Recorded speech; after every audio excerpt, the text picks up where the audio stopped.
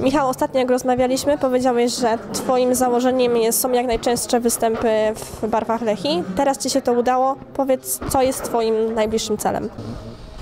E, Najbliższym celem e, moim, jak i drużyny jest jak najlepsze miejsce w lidze i, i o to walczymy. Wiemy, jak ciężko e, było dostać się do tej pierwszej ósemki.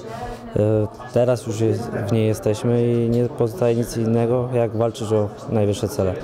W czwartek do meczu podejdą dwa zespoły podrażnione porażkami w poprzedniej kolejce. Zapowiada się zatem mecz pełen walki do ostatniego gwizdka. No tak, no, dla kibica siedzącego na trybunach na pewno, na pewno ten mecz e, może być fajny, bo my jak zarówno Lech e, gramy fajną ofensywną piłkę i wydaje mi się, że w tym meczu będzie dużo sytuacji bramkowych i miejmy nadzieję, że też dużo bramek. Michał, różnice punktowe w tabeli są bardzo niewielkie. Lech jest Waszym bezpośrednim rywalem w walce o jak najwyższe miejsce w tabeli.